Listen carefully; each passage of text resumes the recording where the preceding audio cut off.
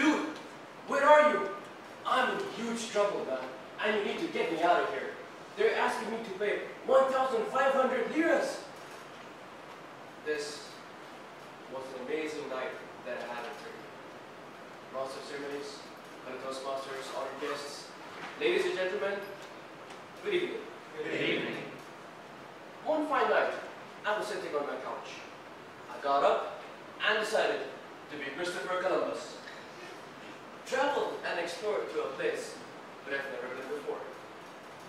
While I was in the process of planning, I came to know that one of my colleagues, who happens to be a very good friend of mine, is traveling to Turkey. So I thought, Turkey. hmm, Beautiful place, rich in culture, historical places. So I went up to my friend and shared the idea of traveling with him. And all was set. Now my friend had already reached there before me, so I was relaxed that he would be picking me up from the airport. But when I landed, I realized that I was left hanging at the airport. But hey, it's me we're talking about. yeah. I came fully prepared. With Turkish currency ready in my pocket, hotel details saved in my phone, I walked towards the taxi stand. Now here is where the real war began. It's 6 o'clock in the morning and no one speaks English. Great! Just great. But hey, it's me.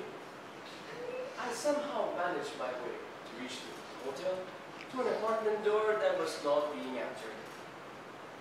After continuously ringing the phone of my friend and on the door for almost an hour, MJ finally opened the door. By MJ, I don't mean dead Michael Jackson. Muhammad Jihad al-Wazani. As soon as he got in, I crashed on the sofa because I was so tired. Next morning, when I woke up, I saw this beautiful angel right in front of my eyes, dressed in white, making breakfast. And she asked, Hola, amigo! What you want for breakfast? That was Angelica Maria Garcia from Mexico. And my other friend, Abed, was desperately looking for an underwear. now I got up, met them, showered, had my breakfast, got ready, and this guy was still looking for his. now we were ready to explore Istanbul. And Abed had to leave with us without his underwear. Well, this was our routine for further few days, until my last night in Istanbul. When I decided to go out alone and explore the city all by myself. I was near Taksim Square, and a guy approached, asking for a letter.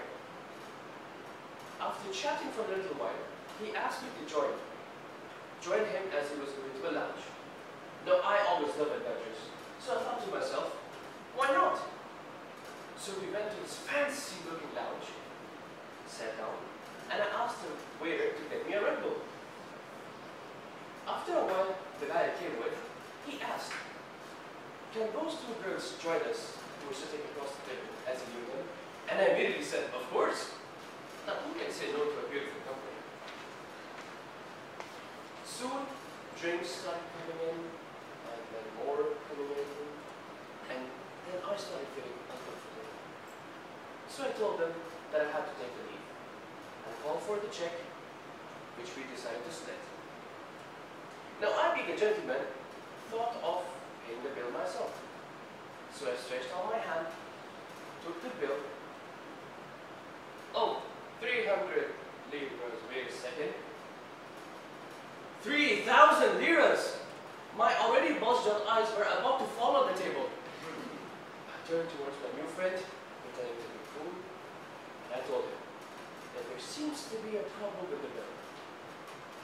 He looked at it and said, Yes, my friend, you may have 1500 liras. What he didn't understand is I was trying to explain that I cannot pay that much amount because I just have 30 liras in my pocket.